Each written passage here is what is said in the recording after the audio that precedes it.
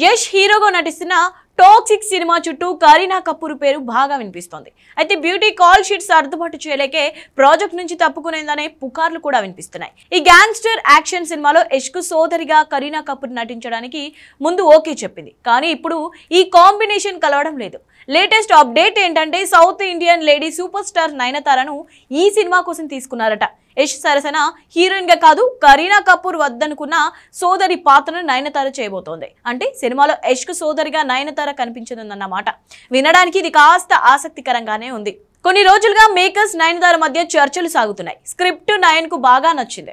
దాదాపు ఈ పాత్ర చేయడానికి అంగీకరించినట్లు తెలుస్తోంది. కరీనా తప్పుకున్నప్పటికీ నయనతార రాకతో ఈ ప్రాజెక్ట్కు మరింత వెయిట్ పెరిగింది.